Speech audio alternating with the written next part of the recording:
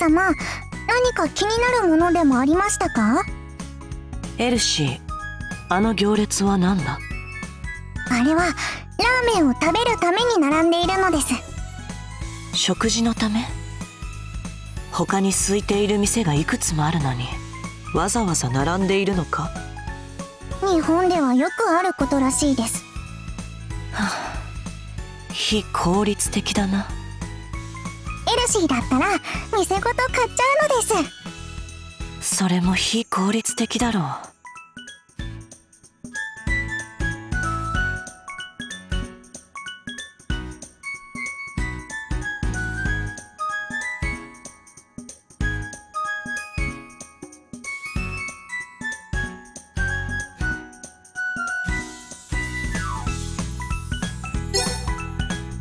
ベロニカさんどこ行っちゃったんだろう？はぐれちゃった。うー絶対後で怒られる。早く探さなきゃ。あすすみません。前見てなくて。おいソフィア何やってんだよ。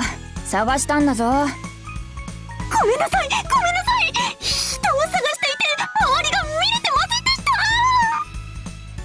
おいあたしだよあたし。あベ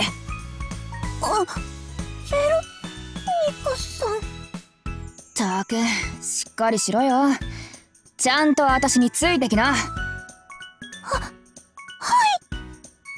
ベロニカさんいつも怖いけど時々優しい時があるんだよね